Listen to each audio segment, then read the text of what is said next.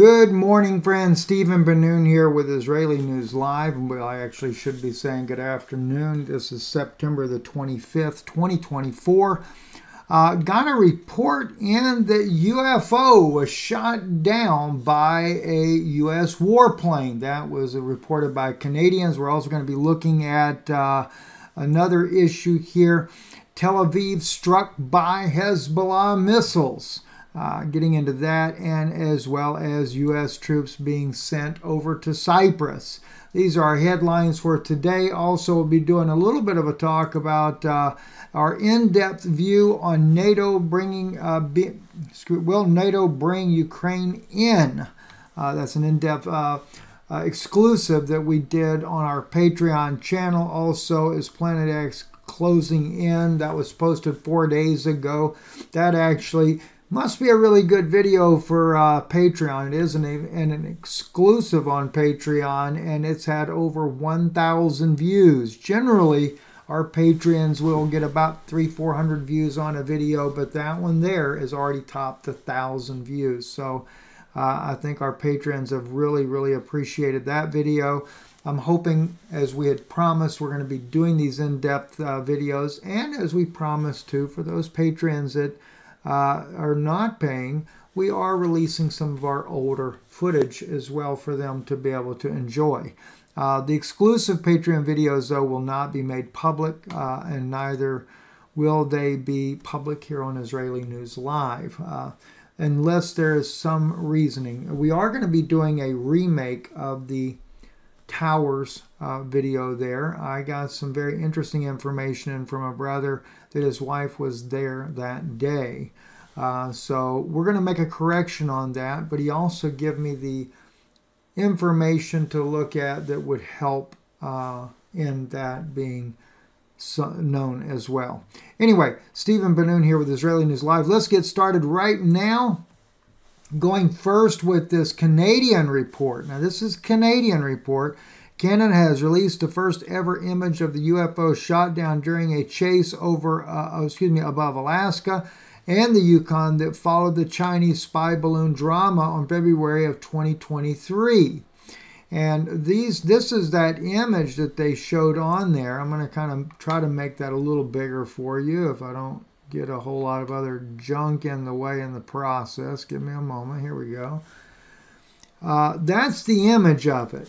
I don't know what to tell you. I really don't. Unclassified, they say. Canada has released the first ever image of a UFO shot down during the chase above Alaska and the Yukon that followed that Chinese spy balloon.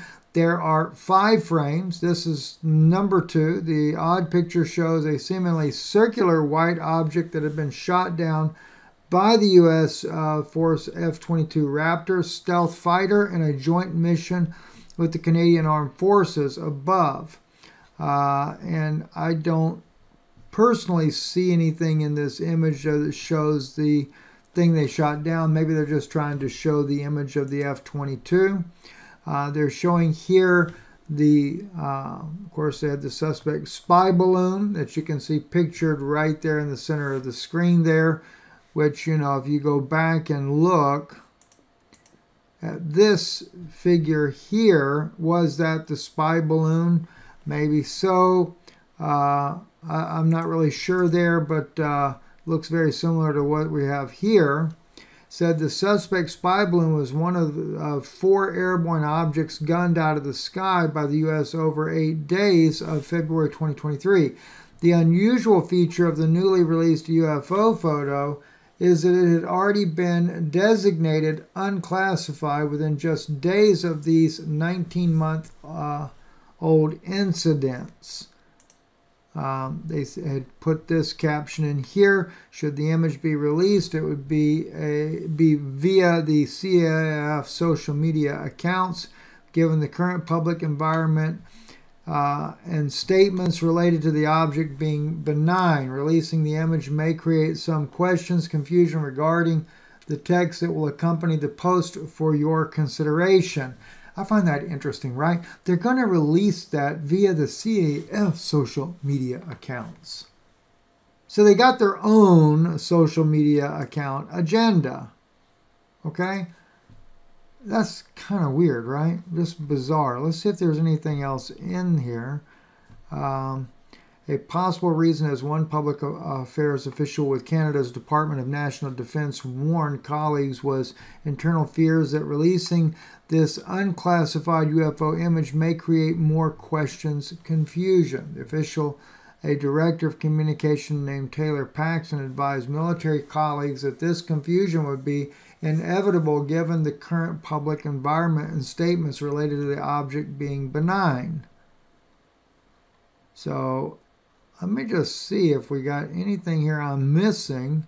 Um, top center of the UFO in this newly released image may depict either that upper metallic region of the remains of the alleged package but this release adds more mystery to the wave of espionage tinted UFO activity that, that surrounded the confirmed downing of the authentic Chinese government spy balloon. And the question is let's see. Refuses to release the footage of the UFO shot down over Alaska. See, so the Pentagon is not willing to release it but is that the actual image there? This is going, all right, I clicked on it. It takes us back to this other article. And I don't know if they're going, let's see, I can tell you that there is currently, in, uh, oh gosh, here we go, right here. Now, I'm assuming that's the balloon that they're going to shoot down there.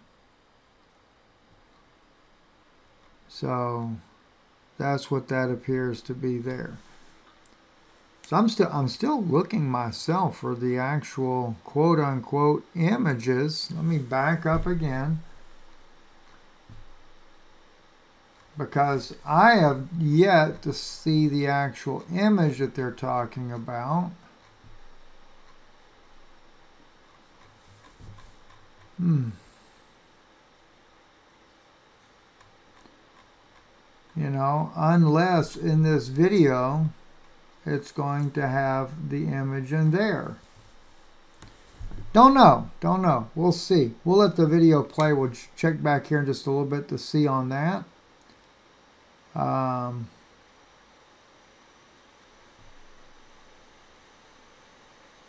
does not appear to me anything like that. Anyway, moving on over to uh, Tel Aviv. Uh, Hezbollah last night was able to uh, cause some damage in Tel Aviv with missiles getting through past the Iron Dome. This was one strike there yesterday that hit.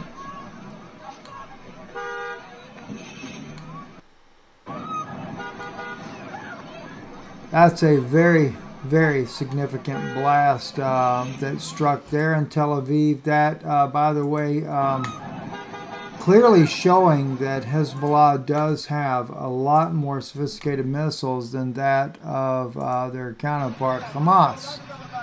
And uh, this also, this, uh, gosh, sorry about that. I've got some kind of virus thing in this computer that really causes a lot of problems.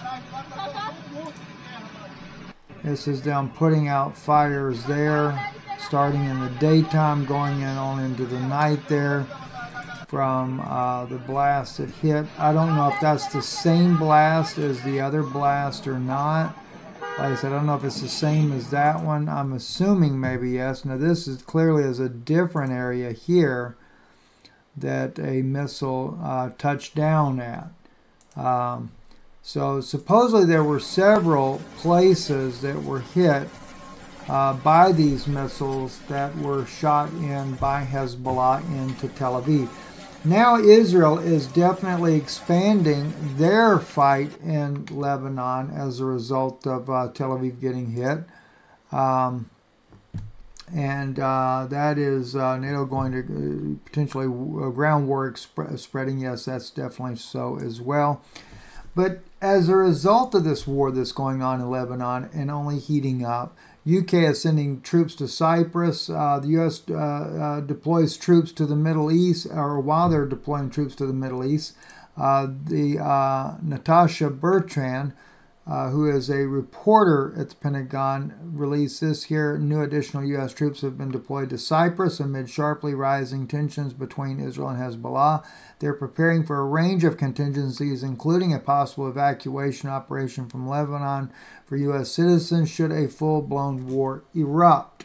Um, we also have this one popped in here from Rumsfeld, U.S. 101st Airborne Division touchdown in Cyprus. Uh, I've seen the uh, more of the video footages of that as well. Not video footages, but uh, those that are showing the maps and stuff uh, coming across on that. Let me just see if I can pull that back up. Uh, Cyprus U.S. Airborne. I think that'll pull that up for us there.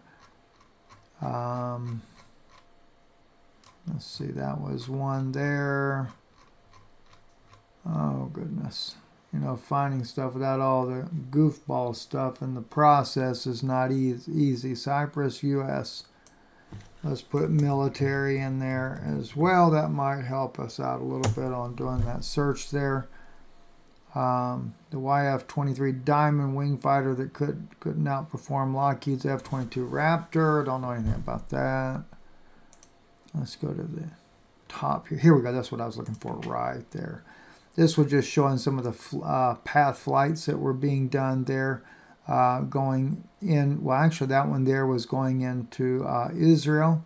That was the one that was shown there, but I think the other one shows the flight path, yes, going to Cyprus. These are from military bases uh, in Europe, back and forth between Israel and Cyprus. Of course, the question is, is why are they going into Israel? What do we have troops going into Israel for? Are they going to be fighting along with um, Israeli forces as well uh, don't really know the answer to that. So, um, uh, so the C-17 flights departing from Fort Campbell potentially indicating that uh, the activation of the 101st Airborne Division, according to U.S. officials, this activity appears to be related to the contingency planning for a possible evacuation of, of U.S. citizens, is what that would be.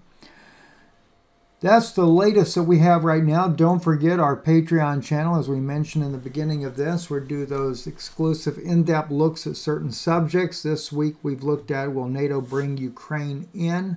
Um, and when I say that, I really did an in-depth look about the possibility of Ukraine becoming a NATO member to be able to justify a war with Russia.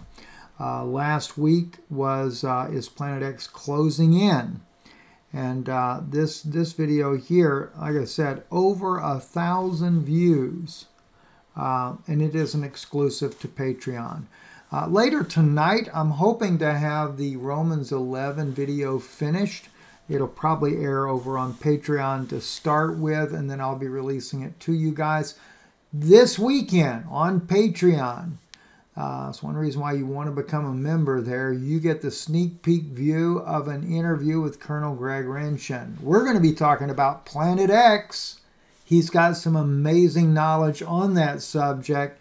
We're going to be talking about that. It'll be released this coming Saturday night on patreon.com forward slash Israeli News Live. Good blessings to you. Have a wonderful day.